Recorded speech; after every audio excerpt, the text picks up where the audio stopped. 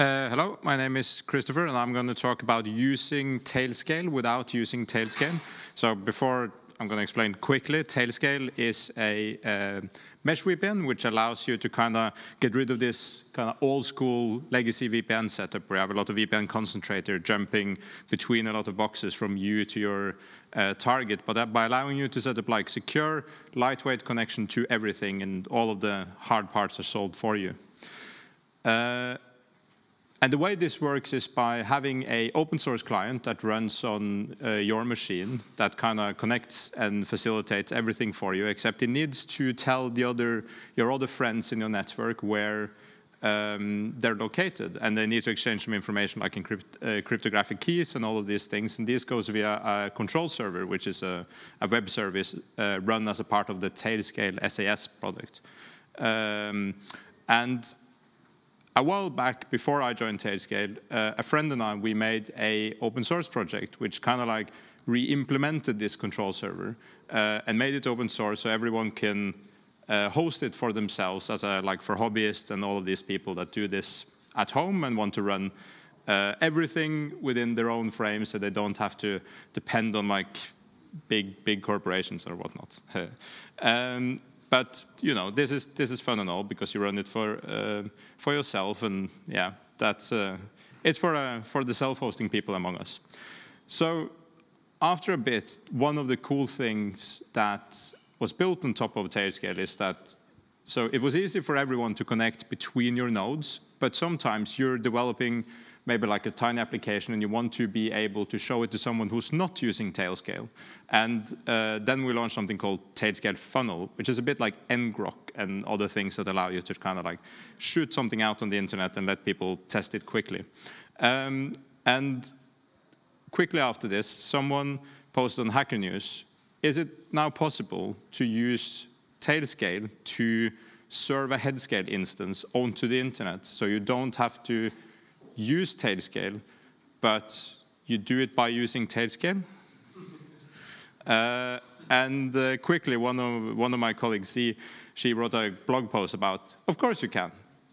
So we're going to try to do that quickly now and see how that works out. Okay, so let's see.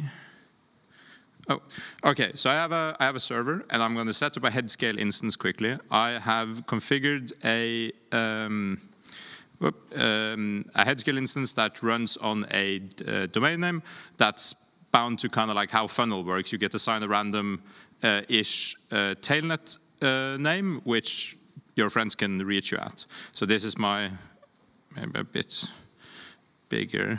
Okay, so this is the dev, uh, the server URL part here. So I'm gonna start a, a headscale instance with headscale serve, uh, which now creates a new database and all of these sorts of things. And uh, oh, sorry, yeah, so that's better, hopefully. Yeah. Okay. So, and um, uh, in addition to this, I'm going to uh, activate funnel. So funnel can be activated by saying funnel uh, on, which I already done. She's a little bit because it needs DNS propagation. Uh, and then I'm going to say uh, terminate all TLS into a port locally on my computer, which is the tailscale, uh, headscale instance. Then I've set up two clients in Docker for uh, tailscale, which currently is logged out, like they can do nothing interesting. Uh, and then I'm going to uh, log in um, using my alternative login server, so not the official tailscale one, which hopefully should return. I'm very afraid of the demo ghost. Uh, let's see if I can actually copy it.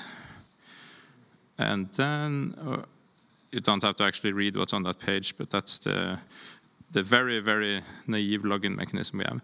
So this is going to ask for a username, which I haven't created yet, but I'm going to do that.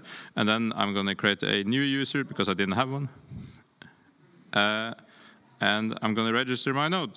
And after a bit now, this node is going to be logged in over, over uh, into a headscale instance that runs over the tailscale network. And uh, I'm running out of time, so I can't log into the second node. But I promise it works. And if anyone is curious, come drop by and ask me.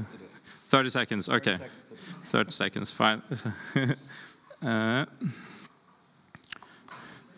Second one. Oh no.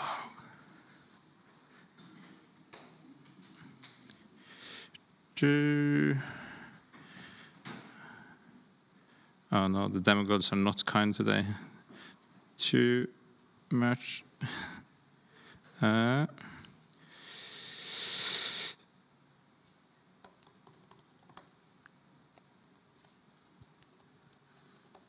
okay, we have two logged in nodes, and I can ping one of ping the other one from from this one, prob hopefully. Yay! Awesome. Thank you very much. Thank you. All right, thank you.